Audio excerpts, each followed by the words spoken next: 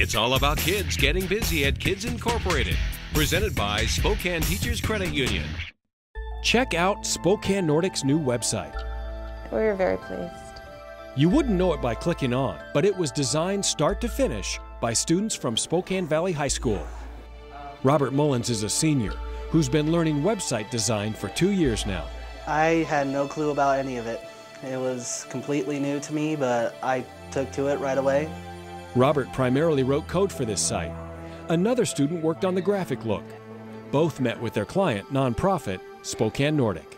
You get to talk to them, you get to see their reactions in person to what you do. Kate Hagan volunteers for Spokane Nordic. She is happy not only with the site, Made it real user friendly. but with the whole process. They were very responsive to our needs, and when we um, would email a concern or call, they were um, immediate in getting back to us and very businesslike. This is the fourth year Spokane Valley High School students have been creating websites for clients. They've done 10 so far. Customers pay a small fee in the form of a donation to the Associated Student Body Fund.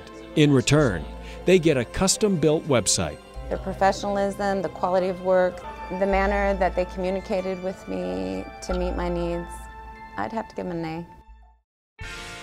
Tell us who you should see next on Kids Incorporated. Email kidsinc at ksps.org. Watch this and other stories online at stcu.org.